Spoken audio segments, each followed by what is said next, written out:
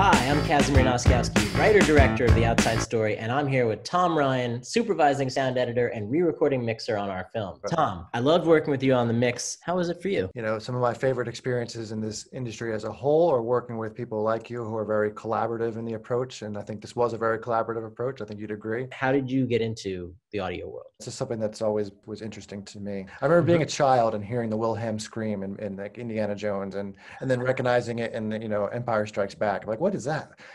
Why is it the same scream that was in that movie? I love foleying sounds.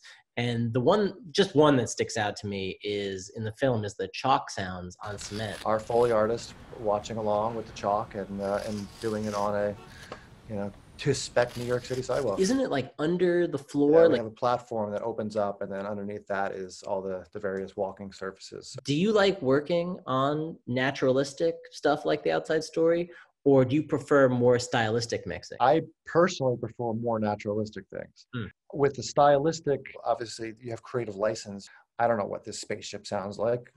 Can't, but Yeah. when you're doing a naturalistic thing, you're really trying to recreate reality in a way. What's the most quintessential New York sound to you? I mean, the overall din, I think, is just the thing that is so quintessential to New York, which when you leave it, you don't think about it, or when you're living in it so long, you don't think about it. But then when you leave it, and things are a little quieter, it's a loud place. Din is a great word, by the way. Big fan of din.